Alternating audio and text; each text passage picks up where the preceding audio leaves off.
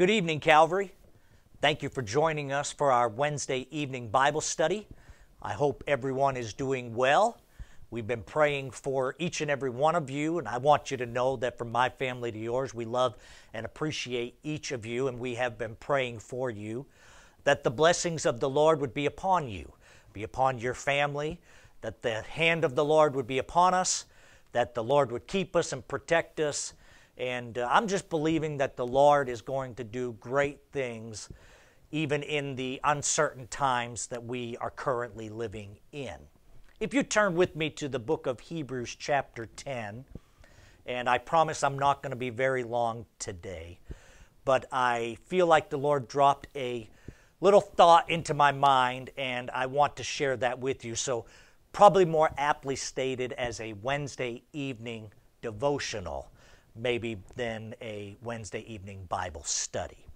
But if you turn with me to the book of Hebrews, chapter 10, and verse number 35, it states, Cast not away, therefore, your confidence, which hath great recompense of reward. If you look at this verse in the English Standard Edition, it states it like this Therefore, do not throw away your confidence, which has a great reward. If you look at that word, confidence, and that's what I want to focus on here for just the next few moments.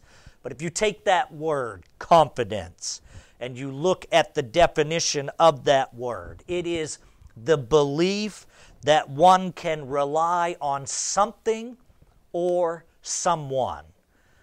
To define confidence maybe in a more compact manner, it's to have a firm trust. There are a lot of things that are happening in our world today that would like to shake our confidence. But I want to encourage each and every one of you that even though our world may be living in uncertain times and we have a lot of questions and concerns, do not allow your confidence to be shaken. Do not allow your trust to be misplaced because if you will have confidence in the right things, then there will be a great reward for you.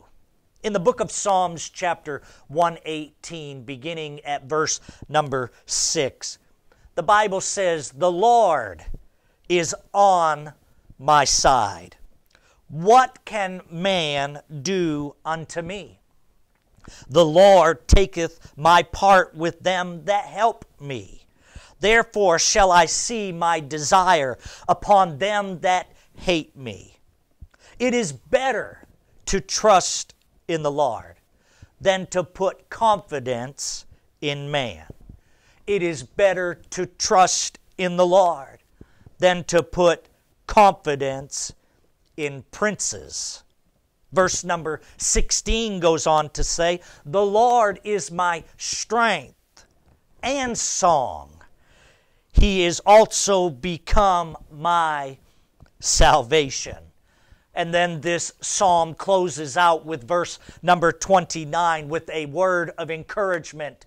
And it says, Oh, give thanks unto the Lord, for he is good, and his mercy endureth forever. I want to encourage you tonight. The Lord is on our side we can put our confidence and we can put our trust in the Lord. And if we put our confidence and our trust in Him, if we put our confidence in things that can be trusted, Psalms chapter 20 and verse number 7 says that some trust in chariots and others trust in horses. But we, will remember, or we will put our faith, our confidence, our trust in the name of the Lord. And I, I just want to tell you that the promises that God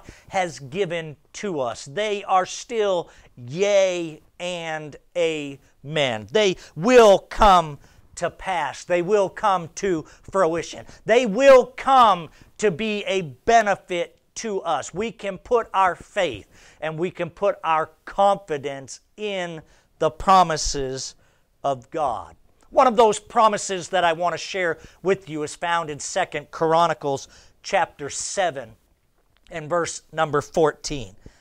It says this, if my people which are called by my name shall humble themselves and pray and seek my face, if they will turn from their wicked ways, then I will hear from heaven.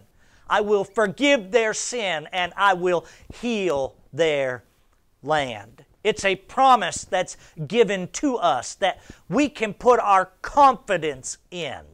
If we do our part, God will do His. Don't throw away your confidence today. Don't allow your trust to be misplaced.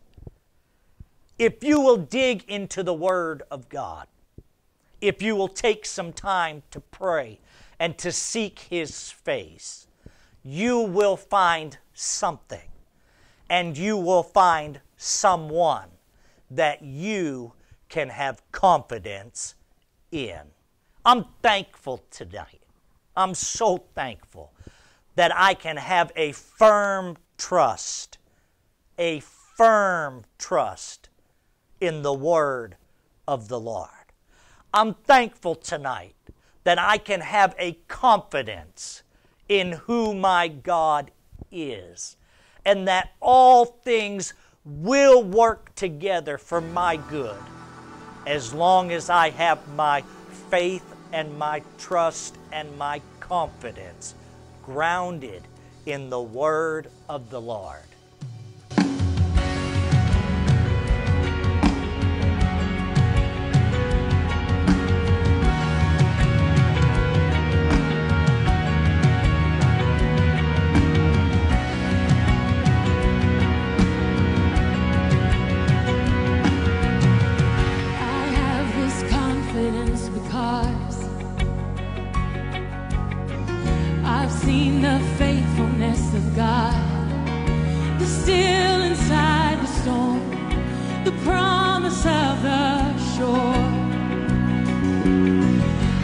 trust the power of your word. Enough to seek your kingdom first. Beyond the barren place, beyond the ocean waves. When I walk through the